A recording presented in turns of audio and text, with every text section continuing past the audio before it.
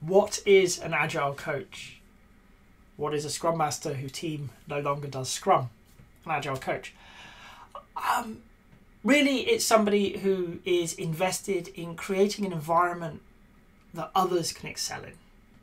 So they're going to be looking at the team level, at the organizational level. What are the things slowing people down? What is the work we're doing that maybe isn't adding value to the system?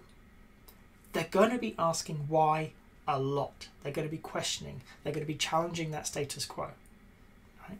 Not because they're difficult, though that might be a really good trait of an agile coach, um, but because they want to understand what the purpose is of the thing you're doing today and how does it help us deliver a great product to a customer.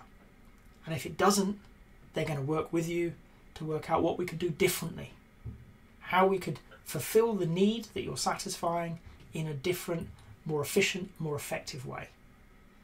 So, an agile coach is not involved in the delivery of a product per se, they're involved in the creation of an environment that allows others to flourish and deliver and do their best work.